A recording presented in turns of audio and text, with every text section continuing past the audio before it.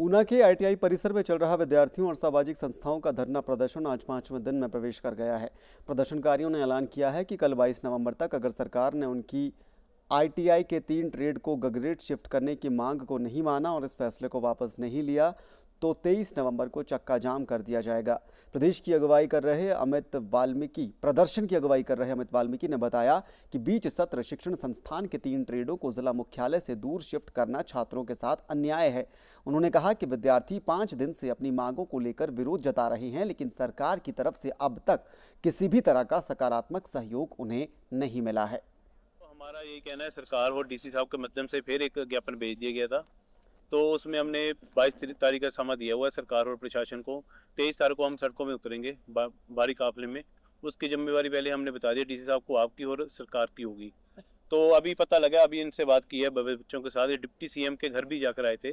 तो deputy CM के घर पर इनकी बात हुई थी तो डिप्टी सीएम ने इधर विधायक को रिजाई यादव को भी फ़ोन मारा था कि आई का क्या चल रहा है। तो इन्होंने बताया था हमारे नंबर भी लिए गए थे और उन्होंने बताया था कि आई यहीं पर रहनी चाहिए डिप्टी सीएम ने भी बोला था।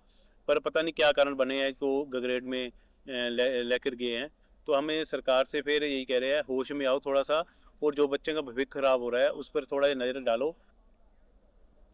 वहीं आईटीआई छात्रों का कहना है कि वो दूर दराज के क्षेत्रों से आकर शिक्षा ग्रहण कर रहे हैं। ऐसे में बीच सत्र में उनके इस सफ़र को दोगुना करके विभाग द्वारा उनकी समस्याओं को बढ़ाया जा रहा है। पाँच दिन हो गए हैं धरना देते सरकार की तरफ़ से कोई एक्शन नहीं लिया जा रहा है।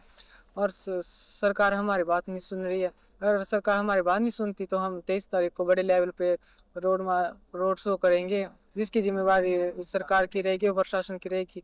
हाँ, हमारे यहाँ से तीन ट्रेड शिफ्ट हुए हैं। गगरेटर मोटर मैकेनिक डीजल मैकेनिक और ऑटो इलेक्ट्रिशियन। हम सरकार से ही मांगे कि हमारी आईटीआई जल्द से जल्द ऊना में लाया जाए। हमारा भविष्य खराब हो रहा है जिससे आने वाले के लिए हमें बड़ी दिक्कत होगी बच्चों के लिए। हमें आज यहाँ पर पाँचवा दिन हुआ है, धरने में बैठे हुए और सरकार की तरफ़ से हमें कोई भी रिस्पॉन्स नहीं आया है।